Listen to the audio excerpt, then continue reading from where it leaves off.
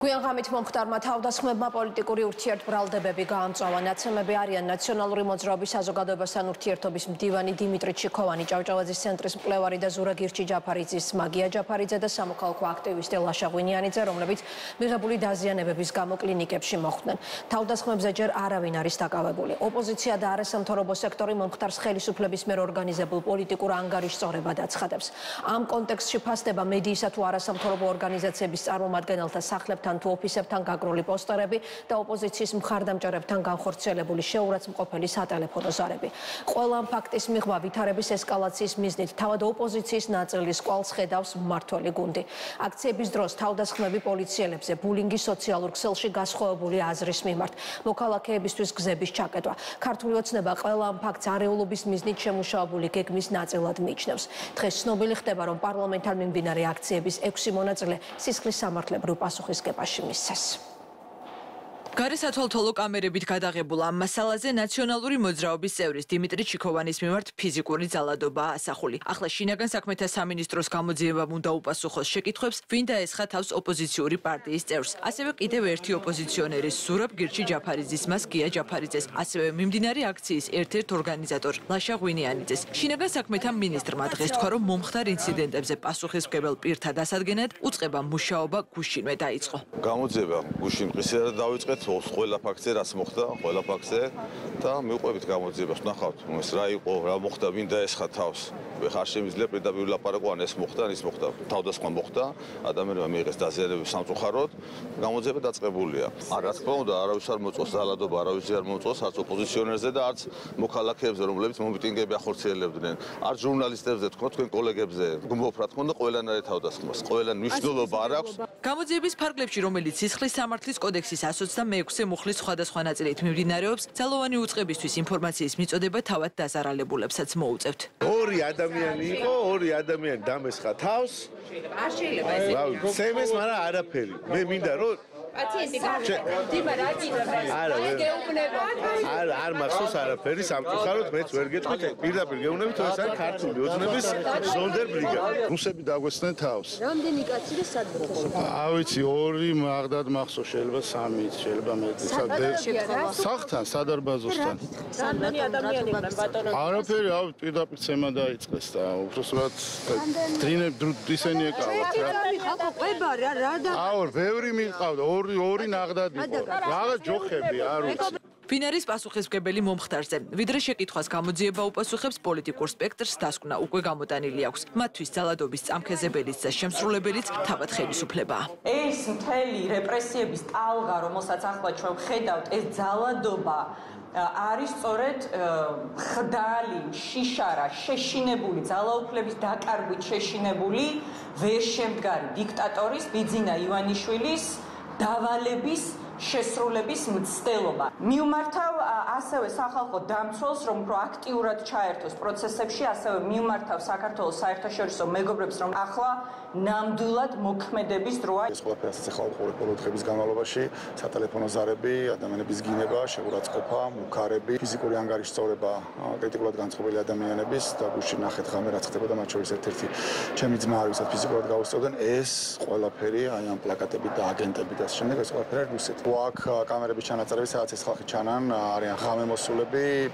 ნიღბები უკეთიათ, რომ სახები არ უჩანდეთ. ეს არის რუსული სპეცოპერაციის გაგრძელება საქართველოს იმ მოქალაქეების წინააღმდეგ, რომლებიც ვებრძვით რუსულ რეჟიმს. პასუხისმგებლობას ვაკისრებთ პირადად რუს ოლიგარქ ბიძინა ივანიშვილს. მას მოუწევს ყველა ამ დანაშაულზე პასუხი აგოს. დანაშაულის თანამონაწილეა ასევე საქართველოს შინაგან საქმეთა სამინისტრო, რომელიც გადაქცეულია პარტიის ქვედანაყოფად ხელისუფლება ოპონენტების ბრალდებებს შემხედრი რიტორიკული შეკითხვით პასუხობს. ვის ინტერესში შეიძლება იყოს მიმდინარე საპროტესტო აქციების მონაწილეთა თუ ორგანიზატორთა მიმართ ძალადობა, რომელიც საპროტესტო მოხდს ლოგიკურად უფრო მეტად გაზრდის. ნებისმიერი ძალადობა არის ძალიან ცუდი. ამაში მეგონი ორის განსხვავებული აზრი არ არსებობს, ხო? ხო და ესე ხელაღებით რატო ამტკიცებ თვინმე იმას რომ ეს გალახა თქვათ ფიზიკური შეურაცხყოფა მიაყენა ხელისუფლების მომხრემ თუ სხვა რაზე ამობთ ესე ხელაღებით ყველა დაშავებულს. მინდა უსურო გამოჯამთელება. ეს არის პირველ რიგში რაც უნდა ვთქვათ მეორე. აა თუ კი ვინმეს შეიძლება რომ აწყობდეს მსგავსი ტიპის არეულობა, ეს რა თქმა უნდა არის ის ადამიანები, ვინც დგანან ამ მიტინგების უკან და ვისაც აწყობს ქვეყანაში ძლავრი საპროტესტო მუხტის შექმნა. გამორიცხულია ხო რომ ვინმე სხვა საწყობდეს, ვისაც უნდა რომ მუხტი აწიოს, მას აწყობს რაც შეიძლება მეტი დაზარალებული ადამიანი. ვინ დაორგანიზა დაორგანიზა ვინმე თუ არ დაორგანიზა და ასე შემდეგ. ხო ეს ყველაფერი უნდა გაარკვიოს გამოძიება და დარწმუნებული ვარ რომ აუცილებლად გაარკვევს და მე გეუბნებით ჩემს აზრს. რა თქმა უნდა, ყოველთვის მიუღებელია ყველანაირი ძალადობა. ყველანაირი ძალადობა ფიზიკური, ფსიქოლოგიური კატეგორიულად მიუღებელია.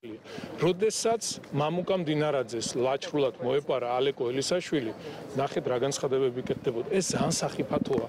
ძალიან ცუდი, არ შეიძლება ჩვენ პოლიტიკოსებმა ყოველას არა აქვს მნიშვნელობა ხელისუფლების წარმომადგენელი იქნება ოპოზიცია, მე მესმის ოპოზიციის წარმომადგენლებს საერთოდ არადარდებთ ეს ყველაფერი და არაინტერესებთ, უნდა გავემიჯნოთ. ამ ყველაფერს და პირდაპირ უნდა დავგმოთ, ხო, როგორ შეიძლება ან ფიზიკური ძალადობა მოგწონდეს, ან თუნდაც იგივე ფსიქოლოგიური ძალადობა, რასაც ხედავთ ბოლო დღეების განმავლობაში. ხელისუფლება ოპონენტებს მოუწოდებს ორმაგი სტანდარტით არის ხელმძღვანელონ და როდესაც ძალადობას დაგმობენ, დაგმონ არა შერჩევითად, არამედ ყოველას. მათ შორის აქციაზე მომუშავე ჟურნალისტებისა თუ სამართალდამცავთა მიმართაც. ძალადობაზე კი რომელიც გამოხატვის თავისუფლების ფარგლებს სდება და კანონის დარღვევის სახეს იღებს, შინაგან საქმეთა სამინისტროში ასევე რამდენიმე გამოძიება მიმდინარეობს. უწყებაში დღეს თქვეს, რომ პროკურატურასთან ერთობლივად მიმდინარე გამოძიების ფარგლებში პოლიციელებზე თავდასხმისა და ნივთის დაზიანების ბრალდებით 6 პირი დააკავეს. 16 აპრილის აქციის მიმდინარე მიმდინარეობისას ერთ-ერთმა დაკავებულმა სამართალდამცავთან მიმართულებით ისროლა ბლაგვის საგანი, რის შედეგად განსაკუთრებულ დავალებათა დეპარტამენტის თანამშრომელმა თვალისარიში დაზიანება მიიღო. ერთ-ერთმა დაკავებულმა პირმა მიმდინარე წლის 16 აპრილს დააზიანა საპატრულო პოლიციის დეპარტამენტის ბალანსზე რიცხული ავტომობილი. 1 მაისს მიმდინარე აქციის დროს დაკავებულთაგან ორმა პირმა დააზიანა შინაგან საქმეთა სამინისტროს საზოგადოებრივი უსაფრთხოების მართვის ცენტრის 112-ის სამეთვალყურეო კამერები. 1 მაისს ერთ-ერთმა დაკავებულმა საკონ საკანონმდებლო ორგანოსთან მიმდინარე აქციის დროს დააზიანა პარლამენტის ჭიშკარი, ასევე ისროლა ქვა პარლამენტის ეზოში მყოფი შინაგან საქმეთა სამინისტროს თანამშრომლების მიმართულებით, რის შედეგად დაზიანება მიიღო საგანგებო სიტუაციების მართვის სამსახურის მეხანძრე მაშველმა. ასევე 1 მაისს მიმდინარე საპროტესტო აქციაზე ერთ-ერთმა პირმა დააზიანა სახელმწიფო დაცვის სპეციალური სამსახურის შენობაზე დამონტაჟებული გარე სამეთვალყურეო კამერა. გამოაშკარავდა ეს 6 ადამიანი, ამის დაკავება მოხდა, ავიღეთ განჩინება, რა თქმა უნდა, სამართლოში დავაკავეთ. ეს ვაგრძელებთ გამოძიებას, კადრები ძალიან ზღვა კადრები, ასე ვთქვათ, ვამუშავებთ ინფორმაციას ასევე. დახენა გამოდერ თუ კიდე გამოიკვეთება დანაშაულის ნიშნები, რა თქმა უნდა, მოხდება მათზეც ასევე დაკავება სხვა პირების. მინდა უთხრა ყველას იმ ახალგაზრდებს, იმ ბავშვებს, რომლებიც ეს ზოგი შეიძლება ჩემი შვილის ხელებიც არიან და უფრო პატარებიც შეიძლება სამწუხაროდ, რომლებიც პოლიციებზე თავდასხმა, კვების სროლა ყველა ყველამ კარგად ნახეთ ის შურ ეგრეთ წოდებული შურდულით პატარა რკინის ბურთულების სროლა საღებავების დასმა და ნუ ძალიან ბევრი რაღაც ვიხილეთ ჩვენ. მე მოუწოდეთ ამ ბავშვებს ამ ბავშვებს შობლებსო. არ შეიძლება კი ბატონო გამოხატონ სიტყვის თავისუფლება ჩვენთან დაცულია აქცია ჩაატარონ თუმცა არ უნდა გადავიდნენ ზღვარს სამინისტროს ინფორმაციით აქციის მონაწილეების სხვადასხვა დროს ძალადობრივი ქმედებებით, სხვადასხვა ნივთებისა და კონსტრუქციების, ასევე გაურკვეველი წარმოშობის ცრემლსადენი აირის გამოყენებით ცდილობდნენ პარლამენტის შენობაში შეჭრას და თავს ესხმოდნენ ადგილზე მყოფ პოლიციელებს. სამართალდამცავ უწყებაში ამბობენ, რომ სატელევიზიო პირდაპირ ეთერების დროსაც და გადაღებულ ვიდეო კადრებშიც კარგად ჩანს პოლიტიკური ლიდერები, აქციის ორგანიზატორები და მონაწილეები არაერთხელ როგორ გასცდნენ შეკრებისა და მანიფესტაციების შესახებ კანონმდებლობით დადგენილ ნორმებს. ამ ფონზე ქვეყნის პირველ პოლიცი ოფიციალს უკვირს კრიტიკა სამართალდამცავთა ქმედებების მიმართ და მით უმეტეს იმ ქვეყნების საელჩოებისა თუ საგარეო საქმეთა სამინისტროებისგან, რომელ ქვეყნებშიც აქციის მონაწილეთა მიმართ რეაგირება ბევრად მკაცრია. სწორედ ამის სადემონსტრაციოდ გაავრცელა შინაგან საქმეთა სამინისტრომ სხვადასხვა ევროპულ სახელმწიფოებში აქციებისა თუ დემონსტრაციების დაშლის ამსახველი ვიდეო მასალა. მაქსიმალურად ვცდილობთ რომ არ გამოვიყვანო, გამოვიყენოთ შესაბამისი ძალები. ანუ თლიანი ძალები, რაც შეიძლება გამოყენებული იქნას კანონის ფარგლებში, მინდა ხაზი გაუსვა. კანონის ფარგლებში. ეს არის რა თქმა უნდა სხვადასხვა წყლის ჭავლი იქნება თუ იქნება გაზი იქნება, ხუთავი არის თუ სპრეი იქნება, წიწაკის თუ რეზინის ტყუები მათ შორის ატომღაც ესე ატყვა რა რეზინის ტყუია ისროლეს. დღეს არ გვისურვია რა თქმა უნდა განცხადება გავაკეთეთ, თუმცა სრული უფლება გვაქვს კანონიერი რომ ეს გამოვიყენო. ქართველები არ ვართ მეორე, ცოტანი ვართ ძალიან და ჩვენი ახალგაზრდობა და მაქსიმალურად ვცდილობთ რომ გავუფრთხილეთ და არ გამოვიყენოთ ის საშუალებები, რის გამოყენებაც შეგვიძლია კანონის კიდე ხას უსვაო. და მეწმუნეთ 20%-იც არ გამოგვიყენებია აი ამ ბოლო წლების განმავლობაში მთელი შესაძლებლობების რაც აქვს შინაგან საქმეთა სამინისტროს. ნახეთ ჩვენ ღამეს, ოდესაც პარლამენტის კარებზე ხო ეს დიდი თქვა შეტევა ქონდათ მოწყობილი ახალგაზრდებს დაწვეს და ამტრიეს, ნუკარებები და ამტრიეს, კამერები და ამტრიეს, დააზიანეს, ცეცხლი დაანთეს და ასე შემდეგ. ერთი პოლიციელიც არ გამოსულა ამ შემთხვევაში, რომ არ მომხდარიყო შეტაკება და ეს ბავშვები არ დაშავებულიყო, მაქსიმალურად გავითვალისწინეთ.